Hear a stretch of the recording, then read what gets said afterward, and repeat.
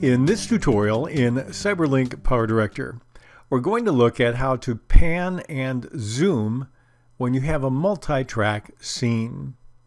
A subscriber said, I have a multi-track scene. On track number one is a still image. On track number two is a video clip that I've been able to green screen. So how can I pan and zoom on both of them together? I went looking for solutions to this and came up with two possibilities that I'd like to put there for your consideration in this tutorial. So we're going to take our still image of the room and drag it and drop it on track number one. And then I'll take my clip, this fellow in front of a green screen, and drop it on track number two. And then we'll make the two tracks the same length. So now I'm going to get into my PIP Designer for track number two, I'll double click on my green screen footage and then we'll move down until we get to the chroma key area. I'll activate chroma key, use the eyedropper by clicking on it and click anywhere in the green and that should disappear. And we'll click on OK. So now I have the gentleman standing and moving in front of the room. And this is a pretty good shot. So let's go ahead and see how we can pan and zoom here using keyframes. So what I'm going to do is go to the track of the room. Let's assume we want to zoom in on the room. I'll double click on the track, which gets me back into the PIP designer for track number one. And then we'll, we'll set a position and scale keyframe at the beginning I'll move the playhead to the left side. I see the red line. I'll click on the diamond for position and scale. And then I want to go in, let's go in maybe uh, 9 seconds, and I'll set those keyframes again. But now what I'm going to do, do is zoom in, so I will zoom out here in my preview screen, and then that will give me plenty of room to drag the corners in and zoom in on that segment right there. So now as I play the clip, I have the man in the same place, but then the room tends to change. Now it looks like he's backing up a little bit because the room's getting larger. How do I zoom in on him as well? Well, I'm going to repeat the process.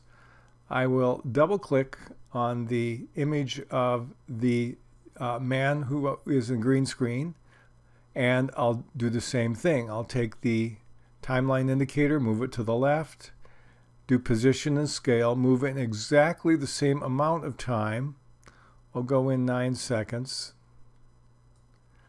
And then I'll repeat the process. I will zoom out here and then we will simply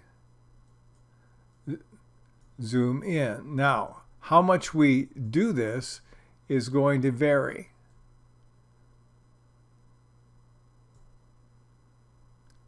I'll click on OK.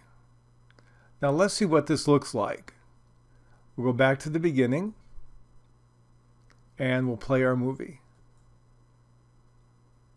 So we're zooming in on the room and moving a little bit to the side and we're zooming in on the guy. Now here again we have a little bit of a problem with the distortion around the edge because of green screen, but it's not too bad overall.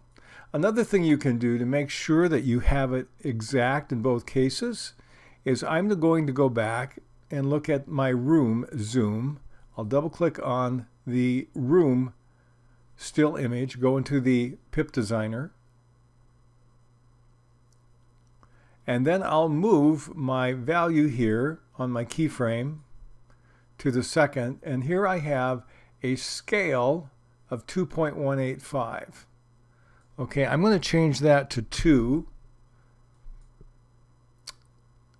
And since my height and width are supposed to be the same proportions here, because I'm maintaining aspect ratio, that is set to 2. And I'll click on OK. Now I'm going to go to my clip of the man and get into the pip designer for that again. And now that was 2.341. So if I want the zoom factor to be the same, what I'm going to do is go ahead to that second set of keyframes and set that to 2.0 and it will duplicate it for width and height and click on OK. Now you might not notice the difference, it may be too subtle, but right now if I play the movie again, what should happen is the zoom factor on the man should be identical to the zoom factor on the room. Let me show you a second approach that is actually quicker and may in many cases be superior. I've cleared the timeline of all the items. We're going to take the still image of the room and drag that back into track one. And we'll take the, the clip of the man and drag it into track two. We'll make them identical length.